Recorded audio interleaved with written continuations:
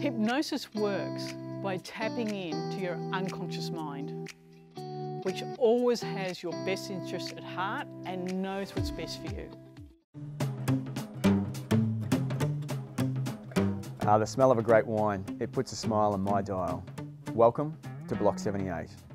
Have you ever been overwhelmed by the massive selection of wines that are available to you out there?